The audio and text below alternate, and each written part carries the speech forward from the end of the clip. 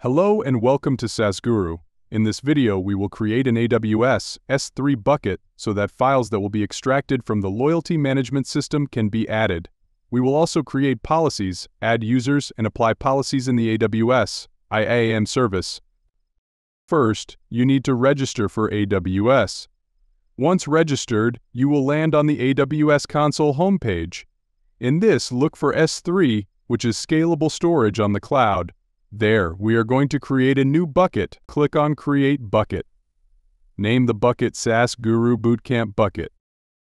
Keep the rest of the options as recommended or as default. Make sure that Block All Public Access is selected. Keep the rest of them as default and click Create Bucket. The bucket is created. Next, we are going to create policies, so go back to the Services homepage. Search for IAM and click on it. Look for Policies on the left.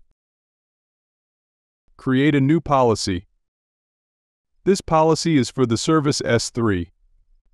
In the action allowed, look for Put Object, which will allow you to write data or create new objects. Then look for the Delete Object, with which you delete an object or resource. Scroll down to the Resources, select Specific, and then click on Add ARNs. Enter the bucket name you created, which is SaaS Guru Bootcamp Bucket. Select any object option. Click on Add ARN. Leave the rest of the settings as default and click on the Next button. Here, give the name of the policy, so let's call it the Salesforce Data Cloud Access Policy. Give description as Policy for Put Object and Delete Object in S3 Resource.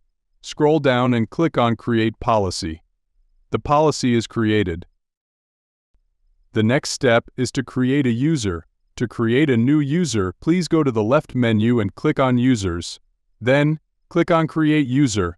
Let's give the username SaaS Guru Bootcamp User 1. Click Next. Select Attach Policies directly option. Look for the Salesforce Data Cloud Access policy we created in the previous step. Select that, and also select Amazon S3 Read Only Access. That's the second policy that we will attach to this user.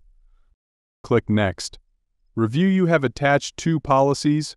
One is an AWS management policy, which reads files or resources from an S3 bucket, and the other is the specific policy for put and delete. Click on Create User you can see that the user has been created. Now click on the same user. Click on Create Access Keys. We are going to use access keys to log into this user from the Data Cloud to AWS. Scroll down and select the other option. Click Next. Give a description, let's say, SaaS Guru AWS Access Keys. Click on Create an Access Key. The access key and secret key have been created. Please make a copy of these and keep it secure, as you'll be using it to connect the data cloud to AWS.